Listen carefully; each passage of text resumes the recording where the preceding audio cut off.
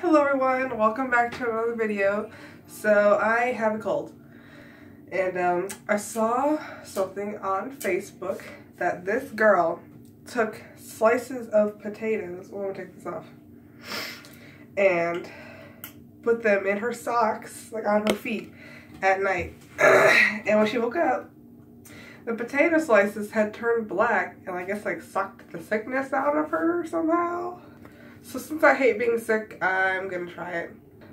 I'm like 90 to 93% sure that this isn't gonna work, but I mean, it's worth a shot, I guess. So I have my potatoes and I have my socks and I'm gonna cut them. Okay, so my potatoes are cut. As you can see, I cut them into slivers. And then I'm going to put on these fuzzy socks and then I'm gonna slide them underneath my feet and I'm gonna go to bed and I'll uh, see you guys in the morning and we'll uh, see what they look like I suppose. So just for reference this is what the potato looks like this morning. So we'll see what it looks like tomorrow. So it is next morning Please excuse my terrible ugliness and warning voice.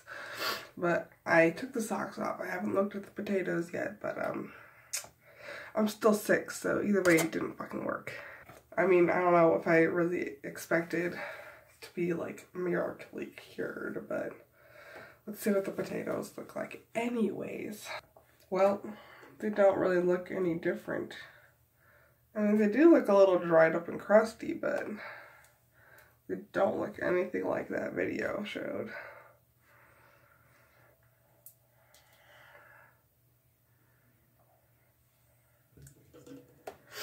But you saw, so let's take the after picture. And I'll also have the actual video somewhere, like the, the before and after for the actual video somewhere in this, this, this mess of a video. Yeah, it's a pretty short video because that shit didn't work, but um, ooh, I gotta sneeze. oh my god. Alright, well, I'm gonna get, oh my god, here comes another one. As you can see, I'm a whole mess, so um, I'm just gonna go. I'm still sick, it didn't fucking work. Don't try it, don't waste your time. Don't waste your fucking potatoes on this shit. okay, love you guys, bye.